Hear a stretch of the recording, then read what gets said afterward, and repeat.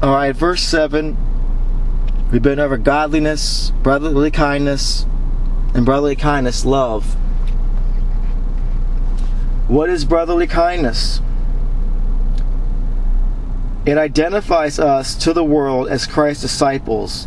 By this, all will know that you are my disciples if you love, have love for one another. John 13, verse 35.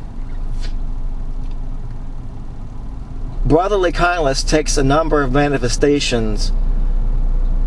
With other believers, it's obvious that when you don't feel like being kind, you're kind anyway.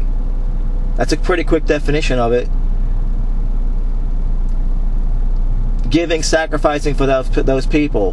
When it comes to unbelievers, even after they've treated you in poor manner, even after they have um, disrespected you, belittled you, impugned you.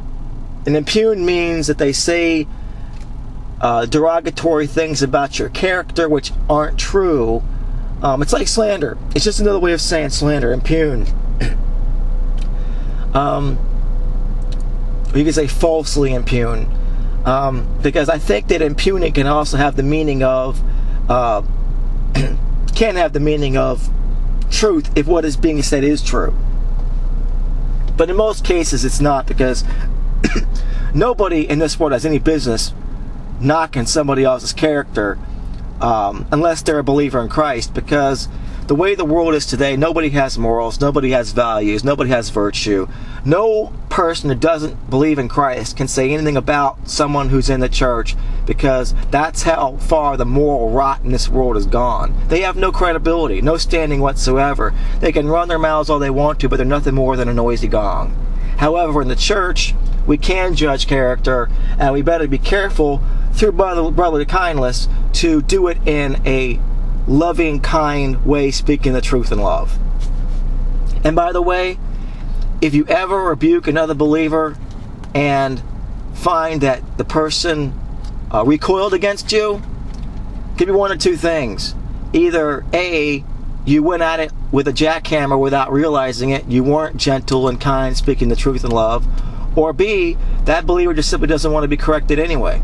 And it doesn't matter how nicely you go about doing it, it is going to be well received regardless.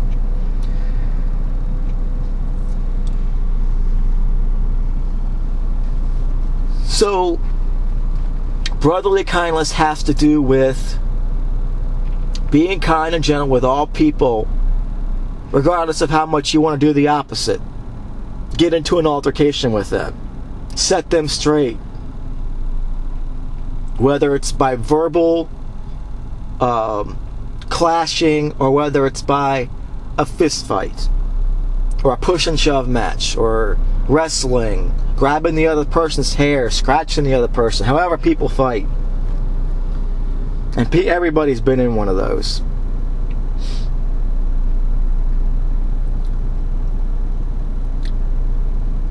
And that I may know through my arms around them and tell them I love them because they love my Christ.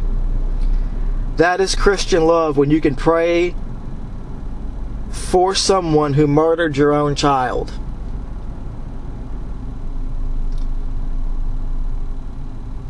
It's not easy to do. I've never experienced it, but people have. And love is the greatest of all things. And basically, what love is, is laying down your life for others.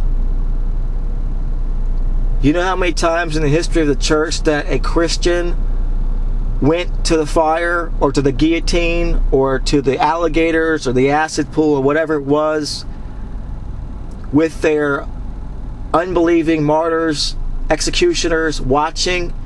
And some of those executioners came to faith in Christ. Some of those people watching came to faith in Christ because they were convinced this person died for what they believed in. That has a very powerful impact. As you are dying for your faith, know this. Not only is it bearable and not very painful, but you may very well be followed a few minutes later by the very person who put you to death or someone watching in the crowd. It's happened a number of times. So, in order to wrap up this message, I want to say thank everyone for listening to my uh, previous sermons. I really am thankful for the opportunity to preach and teach God's Word. And um, this message is not any shorter than any of the other ones. It's just divided up into two or three parts so that you have, if you only have five or ten minutes to listen rather than a half an hour, you can listen to one message one day and another message another. And it also helps me because um, I uh, can go back and do things with them on my YouTube channel and uh, make them more hearable and readable for others who don't speak English. God bless everybody. Pray that everybody is doing well, and I pray, God, that you watch over each and every one of us and bless us. Fill us all with your Holy Spirit, and we pray for the salvation of the lost. May we remain strong in His grace and power, and God bless. In Jesus' name we pray, and by the power of the Holy Spirit, amen.